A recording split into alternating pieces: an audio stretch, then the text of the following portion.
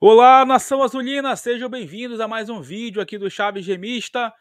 Galera, eu quero conversar com vocês a respeito da vitória do Clube do Remo diante da equipe do trem do Amapá. Pelas oitavas de final da Copa Verde, o Leão está classificado para enfrentar o Amazonas. Eu já quero fazer uma pergunta aqui. O Amazonas é o favorito para esse confronto ou não? A tradição do Clube do Remo vai equilibrar este duelo válido pelas quartas de final da Copa Verde, que tem uma questão de valorização em termos de premiação para a Copa Verde e também visando a Copa do Brasil de 2025. Quero também falar a respeito da tabela básica da Série C de 2024, que foi divulgada pela CBF, e a gente vai saber se o formato mudou ou não da competição. E falar também sobre o que ainda preocupa na equipe azulina visando os próximos jogos, especialmente agora no final de semana contra do Santa Rosa. Antes, já peço que você deixe o like no vídeo, é muito importante para que ele chegue no máximo de remistas no Brasil e no mundo. É só clicar no botão gostei, que assim o YouTube entende que vocês estão aprovando aqui o nosso trabalho. Verifique também a tua inscrição aqui no Chaves Remista, porque assim que chegarmos na marca de 25 mil inscritos, tem sorteio de duas camisas do Leão para vocês aqui no canal. Vem com a gente!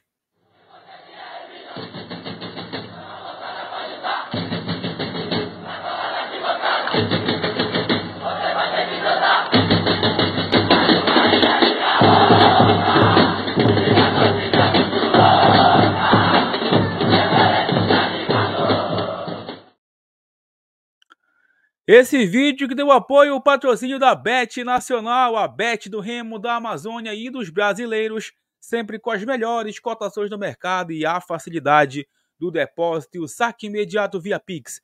É só pegar o teu celular, apontar para o QR Code na tela, acessar o link na descrição utilizando o cupom Chaves Remista ou também clicando no primeiro comentário fixado. Bet Nacional, a Bet dos brasileiros. Recado também da Cervejaria Araguaia, que você pode encontrar o Beer Truck sempre nos jogos do Clube do Remo, na Antônio Baena, entre 25 e Almirante Barroso, do lado ali das entradas do Baenão, para você degustar o melhor chopp do Pará.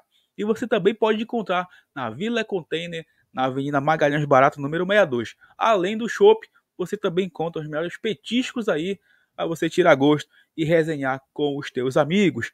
O recado também aqui da Vilhena Contabilidade, você que tem empresa, quer abrir aí né, o teu CNPJ ou quer declarar imposto de renda, quer também emitir notas fiscais, é só entrar em contato com Rafael Vilhena, contabilidade e consultoria e fazer aí os teus serviços sem precisar sair de casa, do conforto da sua residência e com um preço muito acessível para quem é inscrito aqui do Chaves Remista.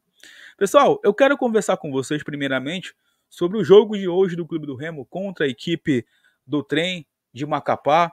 3 a 1 para o Leão Azul Paraense, uma vitória que serve para trazer um pouco de confiança nesse início de trabalho do técnico Gustavo Moringo, mas que ainda deixa o torcedor do Clube do Remo preocupado com algumas situações, especialmente a questão física desse elenco. O Remo fisicamente caiu muito, muito especialmente no segundo tempo. A gente começou com uma postura interessante, é, empurrando a equipe do trem para o seu campo de defesa, roubando a bola, tendo posse de bola, inclusive com uma jogada individual muito bonita do Felipinho, a gente abriu o placar no primeiro tempo, Remo fez 1 a 0. Depois o Remo continuou com aquela intensidade, mas os problemas físicos começaram a aparecer. Antes do gol, inclusive, o Ícaro já tinha sofrido uma lesão e tinha deixado o campo de jogo para dar lugar ao Renier. E depois, uns 20 minutos depois, o Marco Antônio também sentiu uma lesão e agora preocupa para essa sequência de temporada, já que o Remo tem um confronto também pelas quartas de final, domingo contra Santa Rosa, que daqui a pouco a gente vai falar sobre esse jogo, tá? E o Remo perdeu algumas oportunidades no primeiro tempo, poderia ter, se tivesse tomado algumas decisões melhores durante é, a partida, ter feito, né? Ter feito aí é, um resultado mais elástico. No segundo tempo, a equipe voltou com a mesma postura, né, tentando ali encurralar a equipe do trem, mas começou a cansar, começou a pesar a perna e mostrando para gente que a questão física vai ser uma grande preocupação nesse momento para o clube do Remo. Uma grande preocupação para a gente nesse momento a questão física, tá? A questão física. E o técnico Gustavo Mourinho fez algumas alterações, a equipe ganhou, principalmente com a entrada do Canu. O Remo já estava vencendo por 2 a 1 aliás, o gol do Ribamar nem conseguiu ver, porque a transmissão da Remo TV caiu, e aliás, fica aqui a nossa crítica construtiva tá, à transmissão, não aos profissionais que trabalharam por lá, narrador, o comentarista e também o repórter, e sim aos equipamentos da transmissão. Tá? Os equipamentos da transmissão realmente muito a desejar, caiu bastante, questão de internet também. E o Remo precisa fazer um investimento agora para o confronto contra o Amazonas. Vai ter uma visibilidade maior, quartas de final, e o Remo pode ganhar com isso, né, gente? Então, fica aqui a nossa crítica para que a próxima partida, transmitida pela Remo TV com imagens na Copa Verde, um confronto gigante, gigante não, mas um confronto grande agora contra o Amazonas, é, tenha uma questão estrutural melhor para disponibilizar para o seu público, tá? Então fica aqui a nossa crítica construtiva. É, então, é, a gente não viu o segundo gol do clube do Remo. Remo já tinha tomado o gol de empate da equipe do trem. É uma equipe tecnicamente muito abaixo, a equipe macapaense, tá? Eu digo até abaixo de algumas equipes aqui do futebol paraense. Depois o Canu, depois que o Remo tomou a pressão da equipe do trem, né? O Marcelo Rangel fez boas defesas ali, aliás, o Marcelo Rangel é um dos melhores do Remo em campo, tá? É, o Remo conseguiu o terceiro gol numa jogada belíssima do Canu individual, que cortou para o lado esquerdo ali, para a perna esquerda e fez o terceiro gol da equipe do Clube do Remo. A gente não conseguiu escutar ainda, até esse momento, da gravação desse vídeo, o Gustavo Morínigo. Daqui a pouco na Remo TV a gente vai assistir sobre as impressões dele, mas com certeza ele está pensando com a sua comissão técnica sobre como preparar essa equipe fisicamente para essa sequência de temporada. A gente sabe que o Remo está longe do ideal, o Remo, mesmo que goleasse o trem hoje, estaria longe do ideal, mas realmente essas questões físicas principalmente preocupam, porque o Remo precisa estar tá bem fisicamente para depois ir melhorando tática e tecnicamente também. E também estudar esse elenco aí um pouco mais, saber quem é que vai realmente ficar para a Série C e fazer as contratações pontuais para o nosso maior objetivo, que é conseguir o acesso para a Série B do Campeonato Brasileiro. Sobre o confronto contra o, São, o Santa Rosa, tá marcado para o próximo domingo no Bamparabainão, às quatro e meia da tarde, tá? Para esse jogo, 30 reais os ingressos de arquibancada e sócio torcedor do Clube do Remo paga apenas 20 reais, tá? A promoção aí é, que o Santa Rosa colocou para o sócio e o ingresso geral a 30 reais. Lembrando que o mando é do Santa Rosa para essa partida primeira no próximo domingo contra a equipe aí do Santinha. E o jogo da volta no dia 16 de março, às 5 da tarde, também no Bamparabainão, mando do Clube do Remo contra a equipe do Santa Rosa, valendo uma vaga para a semifinal do Campeonato é, Paraense. Agora, voltando para falar de Copa Verde, tá? a CBF vai disponibilizar ainda as datas dos confrontos contra o Amazonas. Pelo que chegou para mim de regulamento, quem tivesse o maior saldo de gols decidia em casa. Então, como o Amazonas Goleou ontem o Capital por 4 a 1 o Remo venceu por 3 a 1 primeiro, primeiro jogo em Belém e o segundo jogo na capital amazonense. E o que eu falei hoje na live é, pós-jogo. Para mim, o Amazonas entra com um certo favoritismo para esse confronto.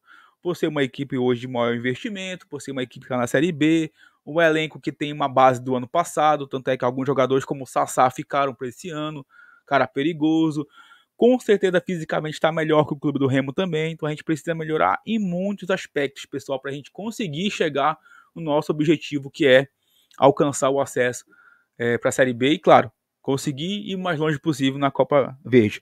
É possível passar? Óbvio, é futebol, a gente tem uma camisa pesada também, podemos se superar, podemos se superar, mas hoje a vantagem técnica é da equipe do Amazonas. É a minha opinião, queria muito que vocês comentassem aí o que é que vocês acham a respeito disso. Vamos aguardar as datas desse confronto, pode ser que seja daqui a duas semanas, tá? inclusive o início desse confronto. Quem sabe até lá o Remo fisicamente já tenha melhorado também, além da questão de organização tática. Tá? Vamos aguardar aí. E eu ainda vou estudar um pouco melhor a equipe do Amazonas para esse confronto, para trazer um pouco mais da minha opinião para vocês. Mas pelo que a gente está observando aí, eles estão sim mais adiantados em relação física, tática e até técnica em relação ao elenco do Remo nesse momento, tá? Bom, agora eu queria conversar sobre a novidade da noite, né, que foi a tabela básica da Série C sendo divulgado no site oficial da CBF. Inclusive, quando terminar, eu vou deixar o link na descrição aí do site da CBF para vocês conferirem, né? É, a tabela completa, mas eu vou fazer aqui o resumo de alguns jogos para vocês. O Remo vai iniciar a trajetória no dia 20, 21 ou 22 de abril, jogando em Belém contra o Volta Redonda.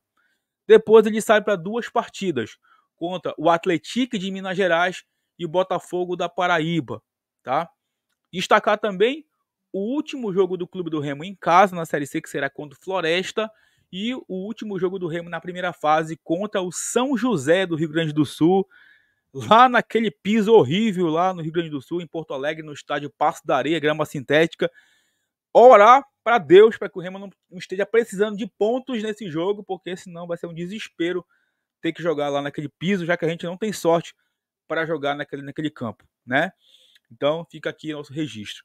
O Remo vai fazer nove jogos em casa com o mandante e 10 fora. Então, alguns momentos a gente vai fazer duas partidas fora, vai fazer duas partidas em casa. O Remo eliminou duas situações complicadas de logística, tanto para viajar para Tombos para enfrentar Tombense, quanto para enfrentar o Ipiranga em Erechim. O Remo vai fazer essas partidas em casa. Entretanto, vai sair para encarar aquele frio escaldante, né? digamos, digamos assim, né? aquele frio de rachar, melhor dizendo, contra a equipe do Caxias, lá na Serra Gaúcha, sempre complicado jogar lá num frio daqueles. E eu vou repetir o que eu falei no pós-jogo para a galera. O Remo precisa iniciar a Série C pontuando, vencendo seus jogos em casa. O Remo não pode negociar ponto jogando no Baenão, porque assim a gente vai ficar mais perto de uma classificação. Para quem queria o formato da Série C, tá aí. O formato vai ser o mesmo. 19 rodadas na primeira fase, todo mundo contra todo mundo, turno único e dois quadrangulares para definir quem serão os quatro que irão para a Série B e os campeões desses quadrangulares irão fazer a final, como foi nos últimos anos aí, inclusive em 2020, quando o Remo conseguiu é, subir e foi vice-campeão brasileiro. Queria também que vocês falassem o que vocês acharam aí dessa tabela básica da Série C. Em breve a CBF vai divulgar as datas oficiais, também com os horários disponíveis Amanhã eu vou estar tá postando uma arte aí nas redes sociais do Chave Gemista com o desenho né, desses 19 primeiros jogos do Leão na Série C do Campeonato Brasileiro, que começa no final de semana do dia 20 até 22 de abril.